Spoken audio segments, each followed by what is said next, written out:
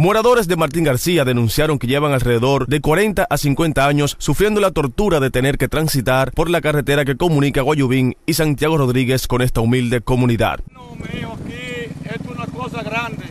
Ya los vehículos aquí Martín García están desbaratados todos. Tenemos 40 años aquí pasando trabajo. Bueno, hermano, esto aquí es desbaratado uno, uno al otro, porque los motores están todos desbaratados.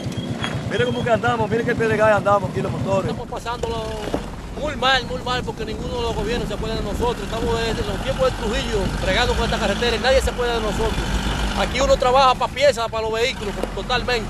Bajo penuria, hoyos y mal ratos, los moradores hacen un llamado a las autoridades y al excelentísimo señor presidente de la República que venga en auxilio de ellos, ya que dicha carretera lleva más de cuatro años que ni siquiera un gredar le pasan. Pueblo unido, pueblo que triunfa.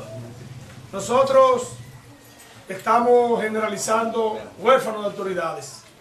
Yo tengo alrededor de unos siete meses pidiéndole al padre Tony clemencia y le seguiré pidiendo cada día más en vista de que no veo el camino decisivo que nosotros podemos lograr nuestra meta.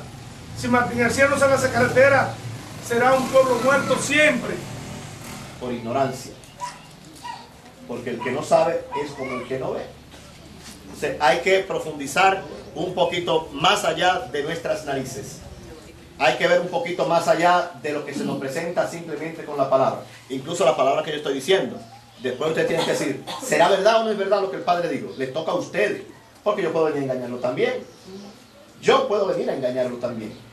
Y esto es bueno que nosotros tengamos presente porque hemos sido bastante engañados. Bastante. Usted tiene un logro inmenso el liceo que se hizo ahí, lo hicieron ustedes.